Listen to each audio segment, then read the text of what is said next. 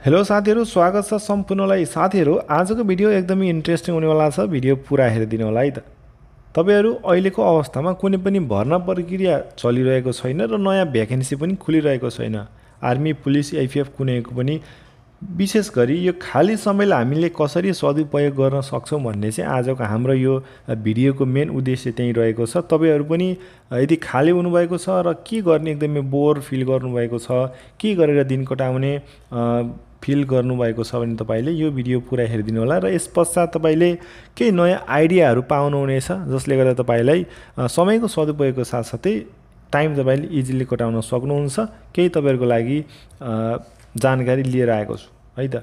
First of all यदि तपाईँ student हुनुहुन्छ स्टुडेन्ट विद्यार्थीहरूले पढ्दा पढ्दै पनि सुरक्षा निकायमा भर्तीको लागि तयारी अथवा सिलेक्सन प्रोसेसमा हुनुहुन्थ्यो भने अहिले सिलेक्सन प्रोसेस नभएको खण्डमा चाहिँ तपाईँले आफ्नो स्टडीलाई चाहिँ कन्टिन्यू गर्न सक्नुहुन्छ। पढाइको अहिले छुट्टी भएको छ भने पनि तपाईँले आफ्नो पढाइलाई कोर्सलाई अगाडिका कोर्सहरू चाहिँ तपाईँले अहिले पढ्न तयारी गर्न सक्नुहुन्छ। त्यसका साथसाथै अरू के के गर्न सकिन्छ मैले यहाँ तपाईँहरूको लागि बताउने छु। अनि कोही साथीहरू यदि पढाइ बाहेकको साथीहरू हुनुहुन्छ कोही पढाइ छोडेका वा पढाइ पश्चात चाहिँ ग्याप भएर चाहिँ अब भर्ना हुन लागेका साथीहरू हुनुहुन्छ जो साथीहरूको अन्तिम अप्सन भनेकै सुरक्षा निकाय वा अन्य रोजगार रहेको छ उहाँहरूले चाहिँ अहिलेको खाली समयलाई सही सदुपयोग कसरी गर्न सक्नुहुन्छ? एक नम्बरमा रहेको छ साथीहरू बिहान उठिसकेपछि हामीले सुरुमै फिजिकल अर्थात् रनिङ भनौँ वा शारीरिक व्यायाम छ एक नम्बरमा तपाईँले त्यो गर्न सक्नुहुन्छ र यो एकदमै इम्पोर्टेन्ट रहेको छ सुरक्षा निकायमा जागिर खानका लागि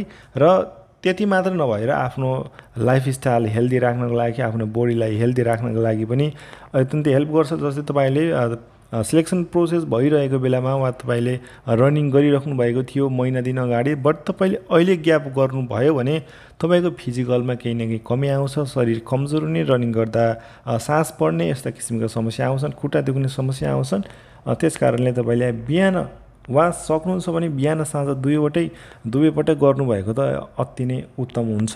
कम्तीमा पनि बिहान तपाईँले आफ्नो दिनको सुरुवात एक्सर्साइजबाट फिजिकलबाट रनिङबाट चाहिँ गर्न सक्नुहुन्छ। जसबाट तपाईँले वानदेखि टू आवर्ससम्म चाहिँ टाइम सजिलैसँग स्पेन्ड गर्न सक्नुहुन्छ। अनि अर्को इम्पोर्टेन्ट रहेको छ कति साथीहरू हुनुहुन्छ यहाँमध्ये जसले घरको काममा सहयोग गर्नुहुन्छ? आफ्नो आमा बुबा दिदी कोहीलाई चाहिँ घरको काममा सहगाउने को को साथीहरू हुनुहुन्छ तपाईँहरूले पक्कै पनि कमेन्ट गरिदिनु होला। यदि कोही साथीहरू हुनुहुन्छ घरको काममा सहयोग नगर्ने घरको काम नसघाउने विशेष गरी बोइजहरूको लागि है त। घरको कामको लागि पनि हेल्प गर्ने सहगाउने चाहिँ तपाईँले बानी गर्नुहोस् र आजैबाट चाहिँ त्यो कुरामा लागु गर्नुहोस् जसले गर्दा तपाईँको खाली समयलाई सही सदुपयोग हुनेछ प्लस तपाईँलाई फ्यामिली मेम्बरहरूबाट पनि गुड रेस्पोन्स पाउनुहुनेछ।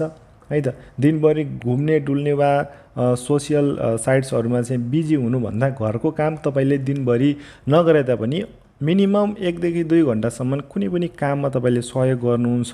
तपाईँको केही पनि काम छैन भने पनि तपाईँले किचनमै भए पनि सहयोग गर्नुहुन्छ भने तपाईँको पनि टाइम स्पेन्ड हुने भयो प्लस फ्यामिलीलाई पनि हेल्प हुने भयो।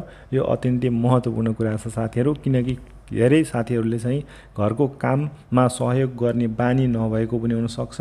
चाहे त्यो कपडा धुनेदेखि लिएर किन नहोस् चाहे तपाईँको खेती किसानीको काममा किन नहोस् जुनसुकै काममा तपाईँले सहयोग गर्न सक्नुहुन्छ है त?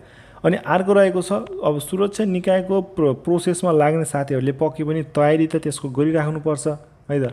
अझ विशेष गरी अधिकृत को लागि हो असही इन्सपेक्टर वा प्राविधिकको कुनै पनि लागि हो भने तपाईँले आफ्नो तयारी त अत्यन्तै बलियो बनाउनु पर्ने हुन्छ। त्यस कारणले त्योसँग रिलेटेड प्रिपेरेसनका बुक्सहरू तपाईँले लिएर दिनमा मिनिमम पनि दुई घन्टा चाहिँ तपाईँले तयारी गर्नुपर्छ। अहिले समयमा यदि खाली हुनुहुन्छ भने सैन्यकै हो भने पनि सैन्यको लागि दिनमा एकदेखि दुई घन्टा पढ्न सक्नुहुन्छ। कुनै पनि ट्युसन जाने चाहिँ झन्झट गर्नु पर्दैन। सैन्य जवान कार्यालय सहयोगी यस्ता पदको लागि तपाईँले सहजै आफ्नै दिमागले चाहिँ बुझ्न सक्नुहुन्छ है त भनेको छु। अब त्यसपछि आउँछ चार नम्बरमा के गर्ने त? है त बाँकी टाइम त तपाईँको रहि रह्यो। अर्को कुरा आउँछ नयाँ कुराहरू सिक्ने बानी गर्नुहोस्। नयाँ कुरा तपाईँले दिनभरिमा के कुराहरू नयाँ सिक्नुहुन्छ त? है त? जस्तै मानव तपाईँले फेसबुक नै चलाउनुहुन्छ भने पनि नयाँ कुरा तपाईँले के देख्नुहुन्छ? दिनमा तपाईँले फेसबुक दुई घन्टा चलाउनु भयो भने दुई घन्टामा तपाईँले दुईवटा मात्र काम लाग्ने नयाँ चिजहरू नयाँ कुराको अपडेट पाउनुहुन्छ भने बाँकी तपाईँले कसैको फोटो कसैको भिडियो केही हेरेर इन्टरटेन गरेर चाहिँ गर्नुहुन्छ। तर तपाईँले नयाँ कुरा सिक्ने अन्तर्गत के के कुराहरू पर्छन् त नयाँ कुरा। जस्तै नेपालमा होटेलमा तपाईँको वेटर बिना पनि रोबोटले नै सर्भ गर्ने चाहिँ सिस्टम नेपालमा आइसकेको छ। त्यो नयाँ टेक्नोलोजी नेपालमा आइसकेको छ। कतिलाई थाहा नहुन सक्छ। कस्ता किसिमका टेक्नोलोजी वा के कस्ता कुराहरू नेपालमा आएका छन् नयाँ अपडेट के के भएका छन् टेक्नोलोजीसँग रिलेटेड मात्र नभएर अन्य कुराहरू पनि हुन सक्छन्। कुराहरू हुनसक्छ है त सामान्य ज्ञान नयाँ जिकेसँग रिलेटेड कुराहरू तपाईँले रिसर्च गरेर गुगल वा अनलाइनबाट रिसर्च गरेर बुझ्न सक्नुहुन्छ जान्न सक्नुहुन्छ। है त? जुन अघि मैले भनिहालेँ नयाँ अपडेटका कुराहरू नेपालमा नयाँ कुराहरू के के भए नयाँ अपडेटहरू के के भए पोलिटिक्ससँग रिलेटेड कुराहरू हुनसक्छन् है त? किनकि यो यस्ता क्वेसनहरू हाम्रो जिकेमा पनि सोध्ने र आफूलाई नलेज भएको राम्रो कुरा है त?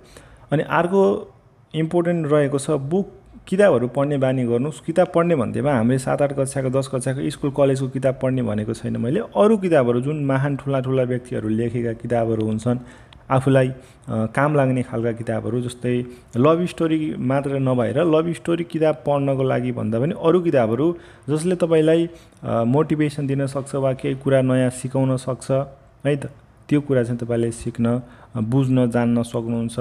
कुनै बिजनेससँग रिलेटेड हुनसक्छ सेयर मार्केटसँग रिलेटेड हुनसक्छ हरेक कुराहरू हुनसक्छ। है कसैको जीवनीसँग रिलेटेड लाइफस्टाइलसँग रिलेटेड कुराहरू रिलेटेड भएको बुक्सहरू पढ्न सक्नुहुन्छ।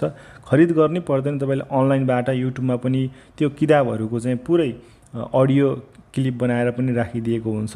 त्यो कुराहरू कुनै किताबको बारेमा तपाईँले पढ्नुभयो भने चाहिँ त्यसबाट तपाईँले धेरै कुरा सन्देश पाउन सक्नुहुन्छ। यसरी तपाईँले टाइम स्पेन्ड गर्नुभयो भने यो पनि तपाईँको लागि क्वालिटी टाइम स्पेन्ड भन्छ है त? जुन तपाईँलाई अगाडि गएर एक न एक दिन काम लाग्छ।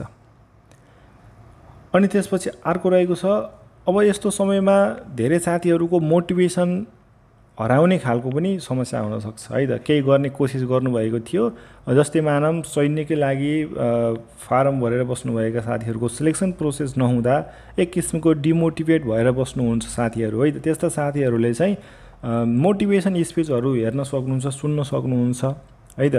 जस्तै वर्ल्ड फेमस तपाईँको इन्डियाको पनि रहेका छन् थुप्रै है त? बिजनेससँग रिलेटेड मोटिभेसन चाहिएको छ लाइफस्टाइलसँग रिलेटेड चाहिएको छ सन्दीप महेश्वरी जस्तो युट्युबबाट पनि तपाईँले यस्तो मोटिभेसन स्पिच हेरेर आफूलाई सधैँ मोटिभेट राख्ने चाहिँ तपाईँले कोसिस गर्नुहोस्। मोटिभेट हुनुभयो भने तपाईँको शरीरमा जहिले कि त पोजिटिभ इनर्जी चाहिँ रहिरहन्छ।